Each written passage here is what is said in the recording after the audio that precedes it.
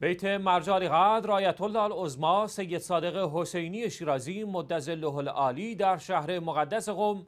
در روز شنبه هشتم ربیع الثانی همزمان با ایام غربت و مظلومیت نفس و جان رسول خدا صلی الله علیه و آله حضرت امیر المومنین علی علیه السلام و شهادت مظلومانه پاره وجود پیامبر اسلام سرور زنان عالم صدیقه شهیده حضرت فاطمه زهرا سلام الله علیها به روایت چهر روز غرق در ماتم و عذا بود.